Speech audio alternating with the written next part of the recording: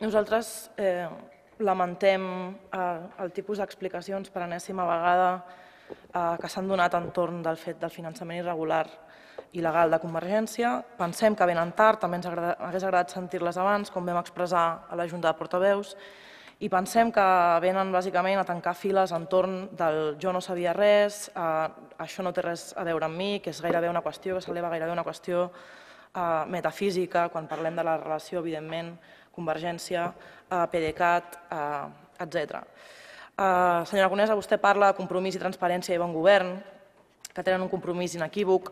Eh, jo em sumo al recordatori de que tant l'auditoria eh, com el ple extraordinari, el ple extraordinari com les peticions han, fet, han sigut fetes i de forma reiterada bàsicament per la forma, per l'oposició, eh, tot i que entenc que no ha d'haver-hi cap, diguéssim, no hauria d'haver-hi cap problema en donar explicacions, o almenys jo, si estigués a govern, correria a donar-les eh, per tal de distanciar-me com pretenen fer avui o com van anunciar que farien fa dos dies, querellant-se amb Convergència. Vostès també diuen, eh, vostè ha dit que defensa el bon fer de l'Ajuntament eh, en l'anèssim intent de confondre Ajuntament amb partit i equip de govern amb ciutat i, i un, tot un revolutum que no ve a ser eh, real i no ve a ser verídic amb la realitat. L'Ajuntament, eh, nosaltres també defensem el bon fer eh, dels treballadors, de les persones eh, que fan cada dia feina en aquest Ajuntament i de la institució en si. Aquí qui va obrar malament són els corruptes i els corruptors. Com deia el Pere Soler, estic d'acord que també s'hauria de canviar la legalitat per començar a perseguir aquells que, eh, que, que, que, corromp, que corrompen no? eh, els que reben i els que donen. Per tant, les empreses com a part, eh, com a actor eh, primordial. Eh, diuen que l'equip de govern no comparteix aquesta pràctica i en el moment en què va ser requerit va col·laborar amb la justícia.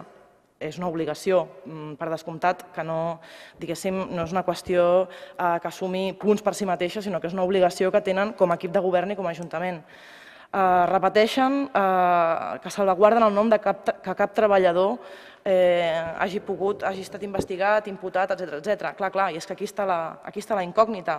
Per això parlem de, de sistema i sistematitzat, perquè segurament la persona, l'home o dona X, mai eh, o molt difícilment és, eh, podrem descobrir qui va ser que va facilitar. Però per descomptat nosaltres no sembrem cap ombra de dubte que no faci falta eh, sobre els treballadors. Eh, tenim, de fet, plena confiança en que els treballadors fan bé la seva feina tenen la vocació de servei, de servei públic molt clara.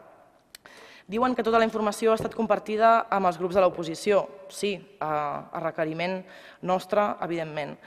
Nosaltres pensàvem que avui hi haurien explicacions polítiques i que hi haurien explicacions ètiques. Vam fer un ple extraordinari en el que ens va deixar exactament 8 minuts per intervenir, per explicar tota la casuística i tot eh, l'històric del cas Palau i en què li vam fer preguntes molt concretes. Han fet vostès, PDeCAT, mesures concretes de correcció pel finançament irregular i legal? Han canviat Poden dir que no tenen avui dia cap tipus de vincle amb fundacions que rebin donacions d'empreses? Què tenen a dir sobre el fet que, donació, que empreses que eren expertes en l'evasió fiscal, en SICAPs, en paradisos fiscals, donguessin diners al seu partit? Què els hi sembla que es, dongués partit, es donguessin diners, fessin donacions d'empreses que eren capdavanteres en termes de joc quan s'estava negociant la llei del joc?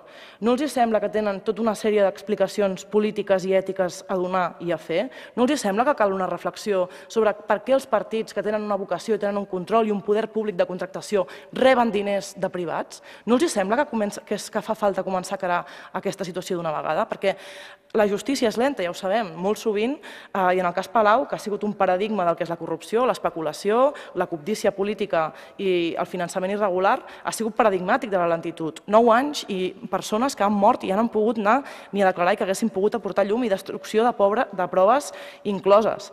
La, el cas Palau ha sigut no només d'una lentitud eh, diguéssim, que ha clamat al cel, sinó d'una pesadesa com a instrucció que ha clamat també al cel. Ha fet falta que les, que les acusacions populars no eh, defallissin en, el seva, en, la seva empresa de posar efectivament els responsables a la banqueta. I els responsables no és ni l'Ajuntament, ni els treballadors d'aquesta casa, ni molt menys la ciutat. Senyora Conés, els responsables són el seu partit. I nosaltres ens agradaria que s'acceptessin les responsabilitats d'una vegada, perquè per acció o per omissió vostès eren responsables en aquell moment.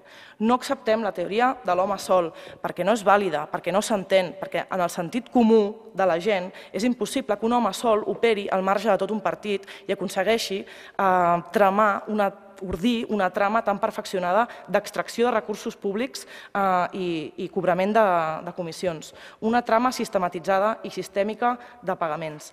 Ens hagués agradat menys passivitat i arguments legalistes durant tot aquest temps i més remoure cel i terra per descobrir qui era aquest home o aquesta dona X, del seu govern, d'aquest mateix ajuntament, del seu partit. Ens hagués agradat que s'haguessin posat del nostre cantó i ens haguessin posat a aixecar catifes com uns bojos fins a trobar els responsables i les responsables d'això, perquè ara eh, em sembla que és mm, fer-ho malament i, i tard. Eh, hem sentit alguns eufemismes de fer, eh, ciutat que financia, etc etc. Eh, nosaltres eh, ens agrada parlar eh, per precisament en els termes que ens ocupen, una extracció de recursos públics, uns diners que pertanyien a la ciutat i que d'alguna manera o una altra, mai sabrem la quantia exacta, van acabar en butxaques privades i en butxaques eh, del seu partit. I què permet això? Doncs permet tenir eh, un banc de recursos que permet fer campanyes omnipresents a tot arreu, que permet tenir think tanks doncs, que eh, generen idees, que permet tenir una sèrie de recursos que fa que després els partits doncs, guanyin eleccions. Per tant, és un trencament de les, de les normes de joc absolutament eh, inadmissible. Volem explicacions ètiques, volem reflexions entorn d'aquest finançament, volem explicacions polítiques i volem depurar les responsabilitats totes i cadascuna d'elles.